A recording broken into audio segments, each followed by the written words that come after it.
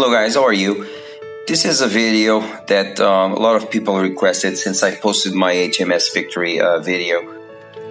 Alex, how you do you do your cloth sails? If you could explain. Well, I don't have a lot of footage on that.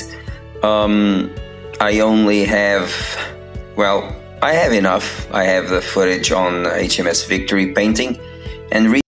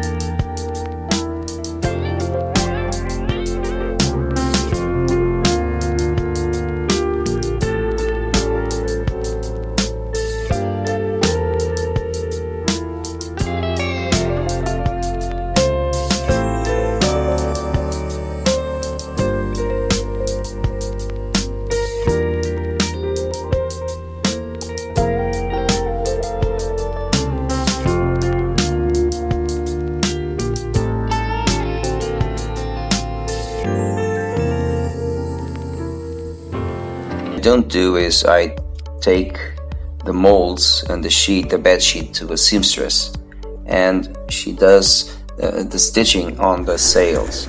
And here you can see that I asked to film a bit the process because I was thinking about doing a video about it coincidentally, and uh, she thought I was a bit strange, as you can imagine. I don't know and um, suddenly a guy just asks, "Can I film this?"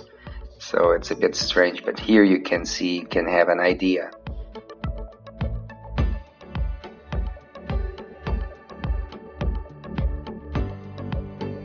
Then, using a scissor, I start to cut the molds and the, the, the sails that are right now um, drawn and sewed, uh, stitched, I don't know the correct word, but you know what I mean, on the, the cloth.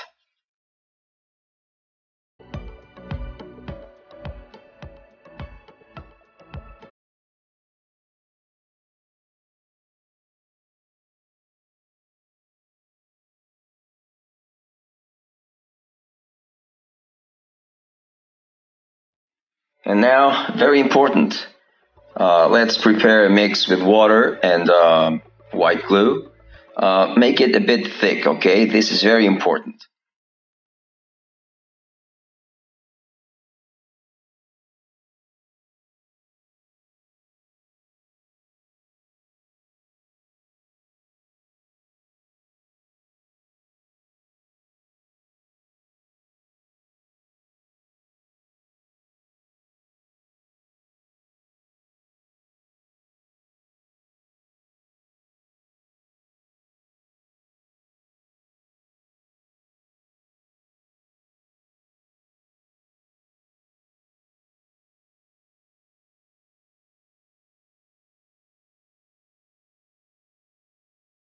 And now we wet the sails, totally soaked in this uh, mix of water and white glue. We wet the sails with it and uh, we're going to let it dry for 24 hours.